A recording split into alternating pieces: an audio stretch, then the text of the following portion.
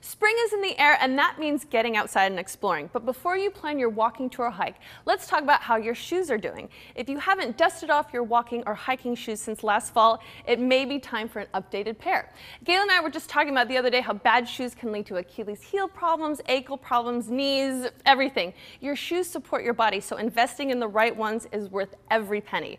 My friends over at Travel and Leisure recommended these shoes for your next trip. Okay, number one is Dr. Scholl's leather slip-ons. They're super stylish and they have that memory foam insoles.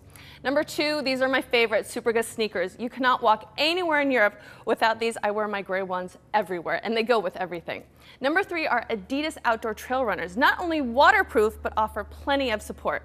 You know when you're walking around looking at a lot of museums and your lower back starts to hurt? The right shoes and a little stretching can make exploring pain-free.